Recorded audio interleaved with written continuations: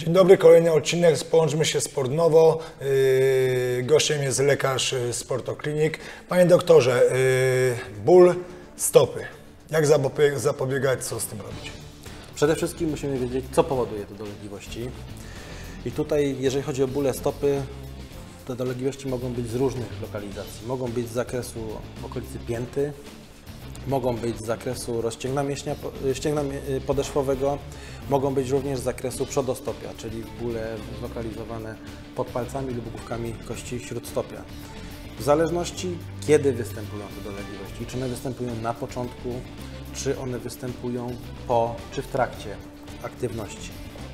Przede wszystkim należy dowiedzieć się, czy ten ból jest rzeczywiście ze stopy, czy ten ból nie jest zlokalizowany pochodzenia z innej, y, z innej okolicy ciała. Y, Bóle stopy y, mogą być zlokalizowane zarówno w przodostopiu, jak i w tyłostopiu i śródstopiu.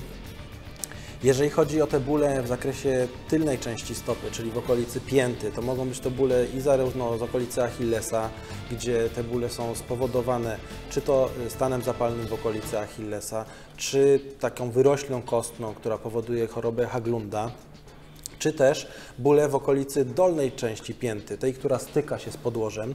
Y, Ta, to są najczęściej bóle zlokalizowane przy, przy przyczepie rozcięgna podeszwowego, tak zwane, dawniej się to mówiło ostrogi piętowe, my teraz to nazywamy entezopatią czy też bóle y, samych kości śródstopia, tych wystających części pod stopą, które, na których opiera się stopa przy każdym kroku.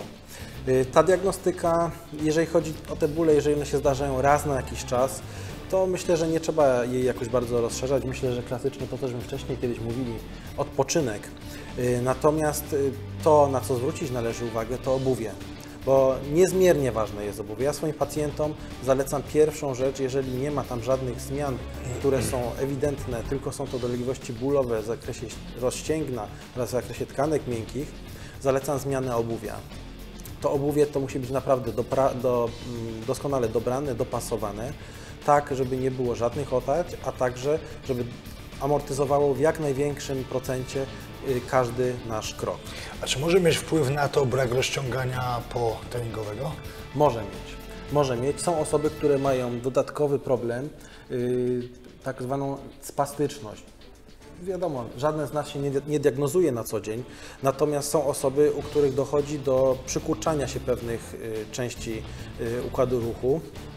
I te osoby na pewno wymagają jakiegoś rozciągania. Tylko też należy sobie powiedzieć, że jeżeli jakaś struktura, w tym, w tym przypadku rozcięgno podeszwowe jest bardzo napięte, to rozciąganie będzie dawało dolegliwości bólowe.